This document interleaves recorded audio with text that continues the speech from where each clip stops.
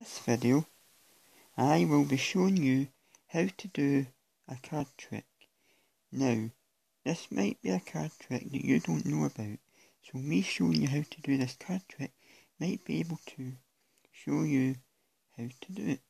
So let's get started with the card trick. For this trick you need three cards.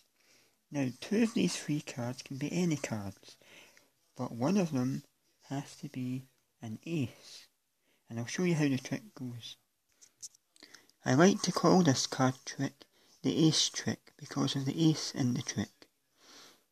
So we have an ace, a king, and a two. Okay? Now, this trick, for this trick, what you do is you have to turn all the cards over. And Once you've turned all the cards over like this, you have to switch them about like this. Switch them about a bit, okay? To mix them up. Now, the card at the end here is the card that is the ace card.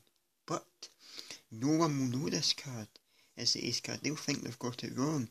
Because what you do is you put another card underneath so that when that card gets turned over, they think they've got the wrong card and they can never pick the ace card because they'll never be able to find the ace card. Do you get it? So, turn this one over, it's a king. Okay, turn this one over, it's a two. Now this one is meant to be the ace card, but because there's another card underneath this card, no one will think the ace card is there. So the ace is on top, as you can see here. The ace card is on top, but underneath the ace card is a queen, or whatever card you choose to put underneath it. Now, when they turn this card over, they'll see the card like this and think they've got it wrong. If you like the video, there'll be more next time. Don't forget to subscribe, and I'll see you in the next video.